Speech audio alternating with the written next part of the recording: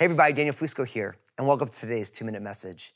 So, Jesus is the greatest teacher who ever lived. Now, you might not believe in Jesus, but everyone has to admit that Jesus is the greatest teacher who ever lived. His teachings have made it through more cultures for the longest amount of time th- than anybody. And Jesus is the greatest teacher, and I believe he's more than just a great teacher, by the way. He, when they asked him what the greatest commandment was, he told them, he said, You should love the Lord your God with all your heart, with all your soul, and with all your mind, and you should love your neighbor as yourself. I love to call this upward, inward, and outward. Upward is about our relationship with God, inward is about how God's our relationship with God changes the way that we see ourselves inward.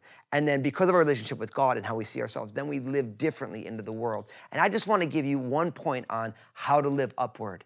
And it's simply this that you are 50% of the equation for having a relationship with God.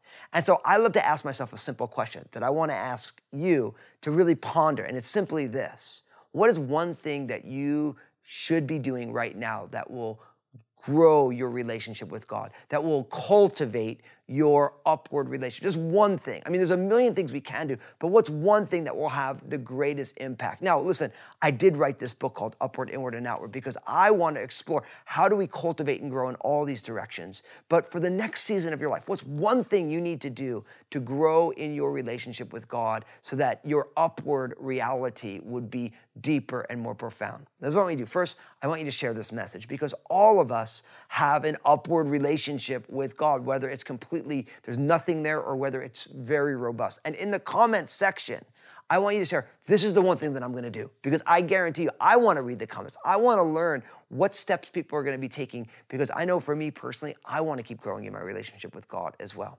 God bless you. I'll see you soon.